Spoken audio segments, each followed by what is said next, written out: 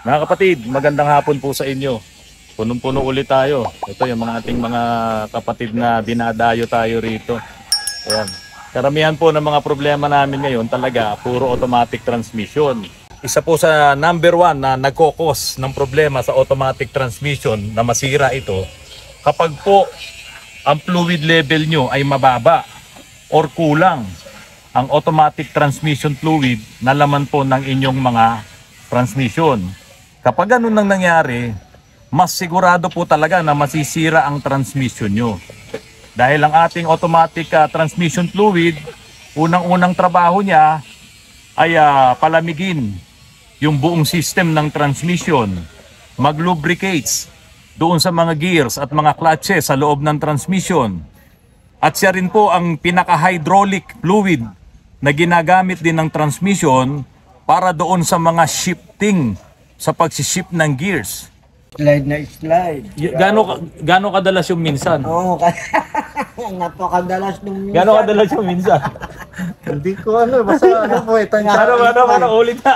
Napakadalas Minsan, ng minsan, ano, minsan, idodocument ko lang para ano, minsan, Nag-jajang, nag, parang nag-jerk, nag-jajang Nagja-jerk, po ang oo. shifting niya. Tapos, minsan, wala sa lugar yung engine brake. oh, Hard Tapos, shifting din po. yung slide.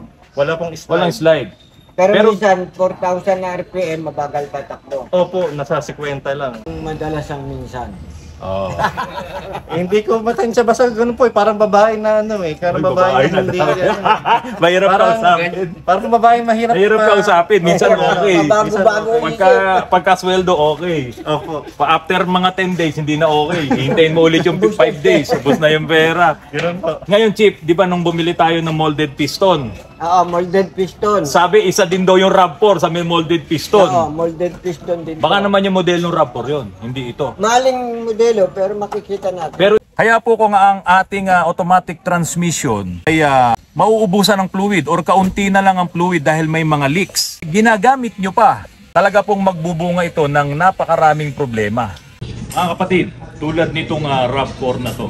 Ang problema nito ay ah, may jerking, tapos ah, wala na siyang top speed kasi hindi na nga kumakambyo, may shifting, may problema na, umiingay na rin yung transmission, at may naaamoy na rin siyang mabahong amoy. Yun nga lang, dahil sa mechanical yung problem, hindi nag-re-reflect doon sa kanyang ah, dashboard, doon sa kanyang ah, check engine. Wala, walang check engine to. So, yung mga symptoms na yon na kapag ka tinignan nyo yung yung anyong ah, level ng ah, ATF, ito tulad nito, ah, yung sinasabi po natin na ito ay hindi black. Brown to pero considered red to. Kapag po ganito ang inyong ah, dipstick sa transmission, ang gamitin nyo po rito yung Toyota T4. Pero since ito ay due na for overhaul or revealed, kapag po ito ay ah, naayos ko na, nakumpleto ko na, nabuo ko na, ang gagamitin ko na po dito Repsol. Kasi mas tiwala po ako doon. Dahil i-rebuild naman po talaga namin to. So yun po ang mangyayari, kapag po ang inyong ah, automatic transmission fluid ay kulang, bawas, tapos ginagamit nyo pa rin siya, talaga pong malaki ang posibilidad na masira ang inyong transmission.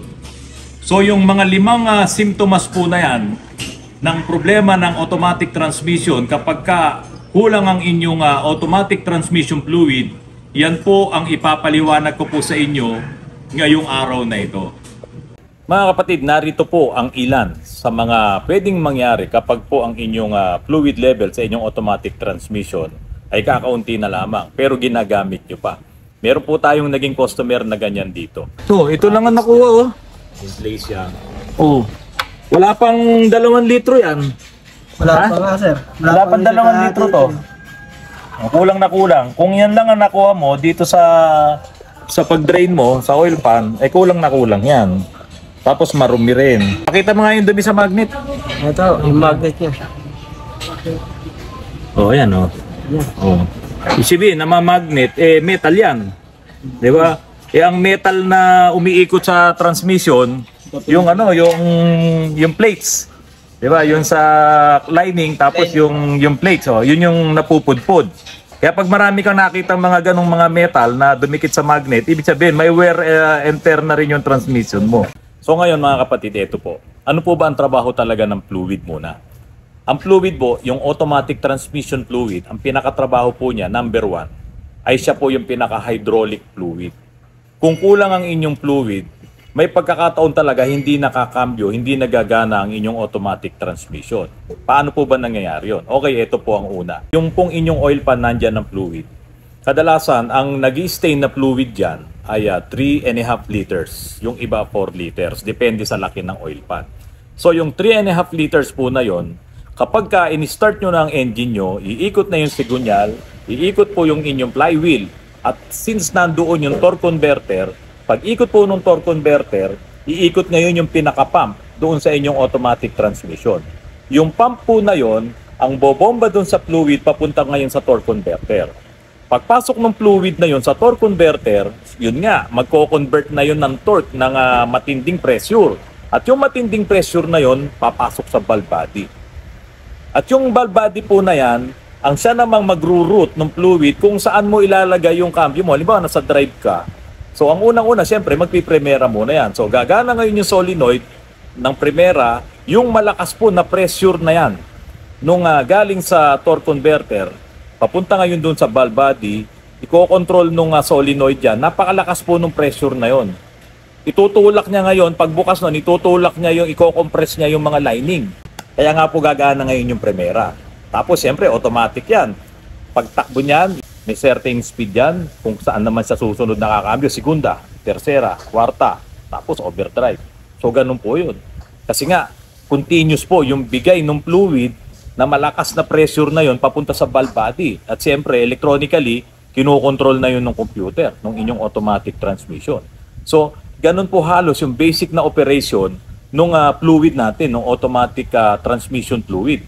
Eh paano po mga kapatid, kung kulang yung fluid mo, kung halimbawa, pag pump ngayon, nung ating ah, oil pump, ipapasok niya dun sa converter, eh kulang. Eh di syempre, pag buga niya ngayon doon, pag ipinid niya ngayon yung fluid doon sa inyong body, kulang. Parang magkakaroon ng bula, magkakaroon ng putol. Walang iniwan po yan kapag umihigop kayo ng soft drink sa inyong straw at nagkaroon ng putol-putol. Syempre, di ba, hindi continuous yung hinahihigop nyo. Or kaya, yung inyong ah, makina, yung diesel, kapag ka yan ay nagkaroon ng ah, bula doon sa linya, mula doon sa feed pump or mula doon sa tangke, pag may bula yan, eh, palyado yung makina nyo. So, ganun din ang mangyayari sa inyong automatic transmission. Palyado din yung kaya minsan may jerk. Minsan, ang nangyayari, hindi mo na makaka-create ng pressure mula doon sa torque converter para pasok niya doon sa sa inyong ah, valve body. Eh syempre, pag inirelease ngayon nung ah, valve body yung pressure na yun para itulak yung mga i-compress yung mga clutches na yon, eh minsan naghihintay pa na mapuno mo yung linya nung ano, nung papasok doon sa body. Kaya naghihintay pa yun kasi nga kulang yung fluid nyo. Eh ang problema po doon, yung kulang yung fluid nyo, minsan mapupuno, minsan wala, gumaganong-ganon yung inyong clutches. Magkakaroon po ng problema. Magkakaroon ng ah, oh, ah, gasgasan yun. Kaya po ang nangyayari, nagje-jerk, minsan hindi maganda yung andar kasi gumaganong-ganon din yung mga clutches nyo kasi nga yung fluid nyo eh, kulang eh, may bula. So, minsan naman talagang halos hindi na yun mag-shift kasi hindi niya na marating yung tamang speed kasi may speed sensor po yan at yung sensor na yun ang magsasabi doon sa computer, okay, narating na nito yung tamang ah, speed para ikambyo mo. Kaya lang kung hindi mo marating yung tamang speed na yon, nag ko nga, no, fluctuating yung signal, minsan okay, minsan hindi, hindi nga yan mag-shift. Isang problema yon kapag ka ang inyong fluid ay kulang. E di syempre, yung gasgasan ng inyong mga lining. So halos hindi na yan makarating doon sa pangatlong gears o sa pang-apat na gear. So wag nyo na pong i-expect yun. At bawat ganunan po nung mga clutches na yon dahil kulang yung pressure, tandaan nyo po, magkakaroon ng problema yan. Nagkakaroon ng grinding, metal to metal. So, hindi po maganda yon Hindi yun healthy para sa inyong transmission. O ngayon, ano pa po? Yung pangalawang ah, trabaho ng fluid. So, ang fluid po, isa rin siya sa nagpapalamig sa ating transmission. So, cooling fluid po yan ng ating transmission. Kaya nga po yan, kapag po yan ay nanggaling na doon sa sa body, pumunta na doon sa system, babalik ulit doon sa torque converter, hindi po, dadaan muna po yan doon sa cooling system. doon sa radiator, merong cooling coil doon. O kaya meron kang ibang extra cooling coil, dadaan mo na doon yun para palamigin. So pag lumamig yun, babalik ulit yun doon sa, doon sa system, ibubugan na naman niya. So ganun yung operation, paikot-ikot. Pero kailangan dumadaan siya doon sa cooling system para ito namang transmission natin, mapalamig din niya lahat ng pyesa doon. So kung kulang po ang fluid nyo, mas magiinit po yan. Pansinin nyo po, magpakulo kayo ng tubig sa takure. Yung kaunting ah, tubig nyo, kaunting apoy, mainit kagad. Pero kung marami yung tubig, di ba ba, matagal yung bago uminit. Kaya po ganun nang mangyayari. Kung kaunti yung fluid nyo, ay iinit kagad yan, tapos ginagamit mo pa. So, hindi niya mapapalamig yung buong system, magiinit yung mga aluminum sa loob, magiinit yung mga bakal, yung mga metals, pati yung torque converter, napakalakas pong mag- mag-cause ng init ng fluid, ano na yung coupling. Tandaan nyo po, kahit tignan nyo yan, yung fluid coupling process, napakalakas mag-init nun. Kaya kung kakaunti ang fluid, ang inyong ATF, doon pa lang sa torque converter, para na pong ah, impyerno sa init yun. O, ah, tapos ipapasok ngayon dito sa inyong system, masisira po talaga ang inyong transmission. Kasi kulang yung fluid na magpapalamig doon sa inyong system. Isa po yun sa trabaho ng ah, automatic transmission fluid. Ano pa po? So syempre dahil siya ay isang langis din, ang trabaho niya mag-lubricate nung mga gears, nung mga mga clutches na yan, lahat nung nandoon sa loob, ilulubricate niya yan. Yung mga bearing dun sa loob. Kung kulang po ang inyong ah, ATF, ang inyong automatic transmission fluid, sino ngayon ang maglulubricate dun? Kung halimbawa, kailangan talagang umiikot siya dun sa system. Pero dahil sa kakaunti, nandito lang siya, hindi na siya makarating dun sa ibabaw. Masisira po talaga ang inyong automatic transmission dahil po sa kulang na ATF, kulang na fluid.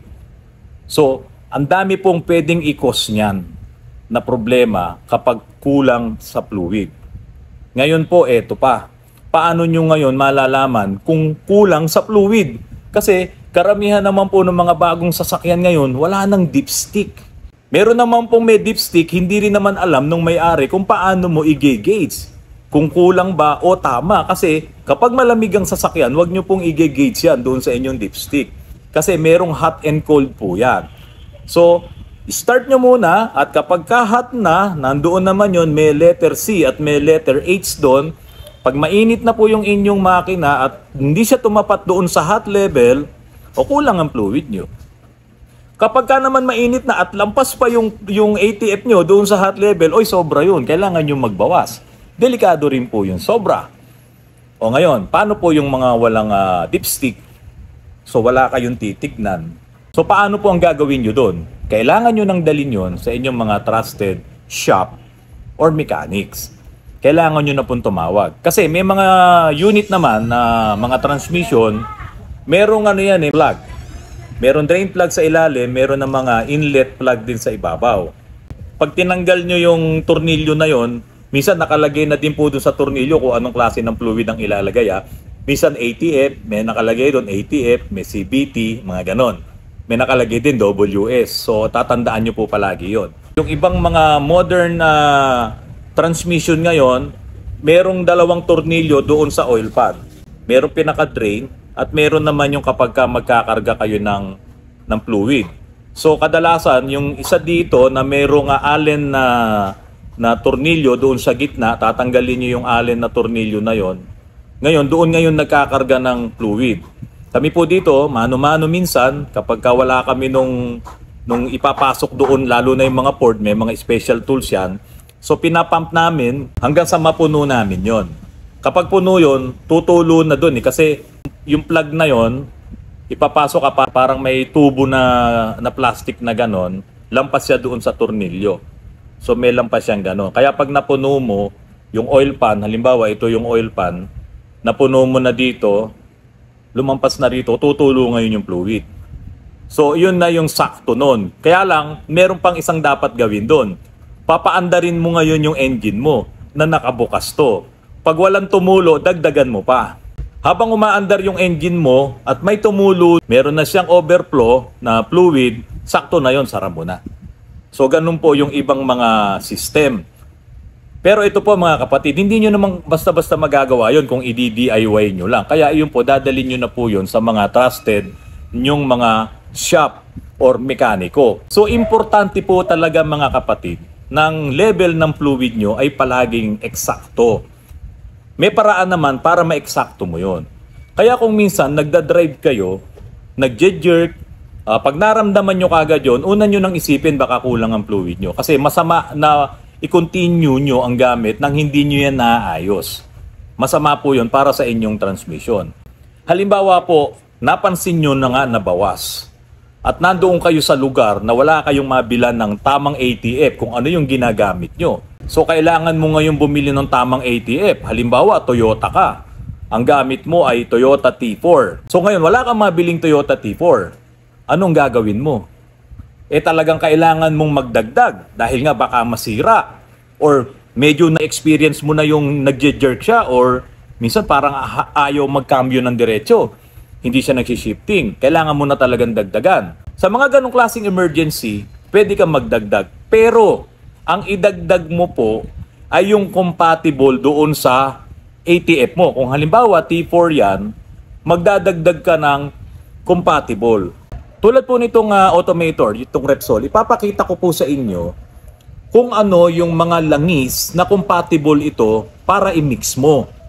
Pansamantala, ah, i-check nyo sa online, ito bang ah, binili kong ATF, ay ah, pwede ba yung ipalit doon sa aking ginagamit na dati? Kung halimbawa T4 yan, kung halimbawa Isuzu, best ko yan, or kung ano pa, Suzuki, pwede ba yan? Okay, ito pa mga kapatid, yung tinatawag natin na back compatibility. Halimbawa po, ang sasakyan mo, ah, modelo na, 2014, 2015, ang gamit niyan ay Toyota T4.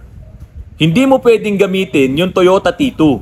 Halimbawa, aksidente, emergency, hindi mo pwedeng i-mix yung T2 or T1 doon sa T4. Pwede, ang gagamitin mo, kung dati ka ng ah, T1, T2, yun ang sasakyan mo, sabihin na natin, luma ng modelo yung sasakyan mo, lumang Toyota, lumang RAV4, tulad yung i-overhaul namin dito. Gusto mong gamitan ng T4, walang problema. Pasok sa banga, sabi nga nila. Pero, meron kang bagong RAV4, ginamitan mo ng Toyota T2, bawal po yun. So, yung back compatibility nun, hindi po talaga pwede. Hindi po yun ina-advise.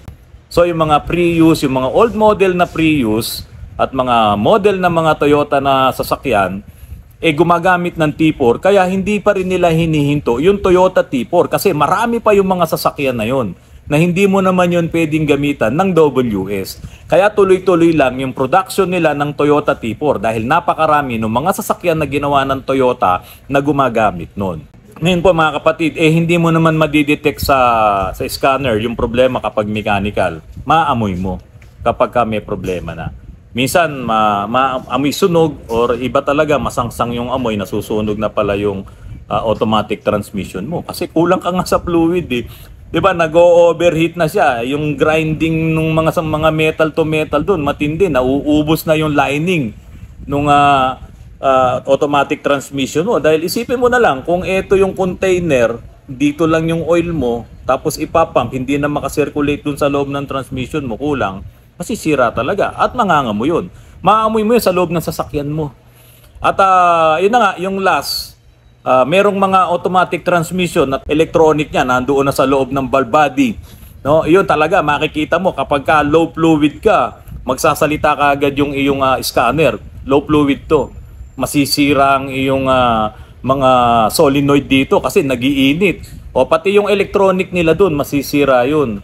So, ang tina- yun nga po yung tinatawag na Valvetronic na transmission. Yun, makikita mo kagad yun. Karamihan dyan, BMW, Mercedes-Benz, yan ang gumagamit ng mga Valvetronic na yan. Volkswagen. Kaya pagkakulang ang fluid mo, madidetect kagad dun sa scanner. Malalaman kagad. Kaya mga kapatid, napaka-importante po yung low fluid na yan. Eh, kasi nga, may leak yung axle mo, may leak yung mm, oil seal doon sa transmission mo.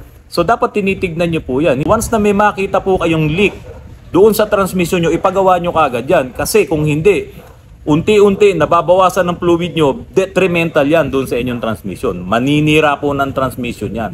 Maniwala po kayo. Sure yan. Sisirain po yan. Kapag ka low fluid, una low fluid, mag- magkakaproblema sa shifting, magkakaproblema sa sa top speed mo, sa bilis, magkakaroon ng jerking, sisirain yung mga solenoid mo, sisirain yung valvetronic mo, pati ah, your converter, meron ding lining doon, sisirain din niya yun. Ang dami niyang sisirain dahil nga umiinit. Tandaan niyo po, yung ah, fluid natin, yung ATF natin, yan po ang magpapalamig doon sa system. Kaya kung hindi niyo po talaga tututukan yung problema ng low fluid, masisira po ang transmission nyo. Mga kapatid, magandang gabi po sa inyong lahat. Kapatid pala kayo ka, uh, sa Esperance. Kasi na, nakita ko sa ano nyo, vlog nyo na binabran nyo rin yung ano. Kapatid ka ba? Ako. Anong lokal Mga mo? awit ako eh. Metro Manila eh. O sige, libre ka na. Kaya ganun, eh, sabi ko, na, na, nalaman ko. Metro East. Metro, Metro, Metro Manila East po. Isa may uh, Marikina, yan. Saan, saan doon? Anong lokal doon? Bayan Bayanan. Sa may... Oh, kay Katirso. Ah, family friend po namin yun. Si Katirso. Kaprador. Oh, abogado, abogado ko yun. Opo, PD po yun. Si PT1, oh. PD1. Katirso, pamang- Family friend po namin yun. Paki- Pamangkin niya si Piskal. Oy, Piskal, Opo. Piskal. Abogado rin po yun. yun. Oh, ka-urge. Ayan. Katirso. Mga kaibigan natin yan. Opo. Oh, ayan, nasa mabuti. Okay, mga kapatid. Oh, ayan, kapatid. Relax. Considered. Ay, dito mo Ah, oo. Oh, Ayaw nyo nang pabuksan. nakasil talaga. Sila lang ang pwedeng gumalaw. Oo, sila lang ang gagalaw. Sila lang ang Pagka gagalaw. nagluko, tawag ka sa kanila. Oo. So, pure electric po ito, no? Ah, switchable. Switchable. May hybrid, may electric. Ah, okay. So, hybrid pu- pala. Pwedeng pure electric, pwedeng hybrid. Hmm. Kasi oo, kaya ito binili ko, yung iba kasing nagbebenta like Toyota, Nissan, Hmm. either hybrid lang Hmm. or either electric lang. Oh, minsan pag naka-minor lang saka lang mag-electric Oo, eh. yun naman, yung hybrid yun, yun eh. Yung Oh, yung hybrid. plug-in hybrid. Tapos yung yun, ah. mga regular hybrid, 0 to 40 ang electric. electric. Pag nag above 40 ka na po, tsaka tatakbo yung engine ng Oh, yung engine. ice na yun, no? Eh, minsan nagpapatakbo ko sa loob ng ganito, minsan more than 40 ka na magpatakbo eh. Oh. So, hindi na ma-maximize yung Electric niya. Oh. Ito, 0 to 60. Ay, ma mataas yung range niya. Oo, 0 to 60 bago mag-hide, bago tumakbo ang gasoline engine. Sir, yung ano, kumusta yung ah, yung braking system niya, yung regenerative? Mag- Kumusta? maganda naman kasi pag nag, uh, lalo pag matuling ka tapos nag eh, preno ka or nag-slow down ka, pag nag-engine brake, automatic nagcha-charge. Kitang-kita sa monitor. Oo, no. Ah, nagcharge. Oh, charge siya, yung regenerative braking Para system niya. ang ano, no? Kaya kung puro NLEX NLEX ka, matipid no? Kasi makakapag ano ka. Tapos ang kinagandahan kay BYD, siya po ang second largest na battery manufacturer ng Yes, oo. oo. Ka- ng sila dalawa ni Tesla eh, ano? Si Si Tesla po kumukuha sa kanya. Si kanya, oo. Ang ganda naman. Oh. Okay ba sa'yo yan? Okay na yan. Payag na ako dyan. Payag ka na dyan, no?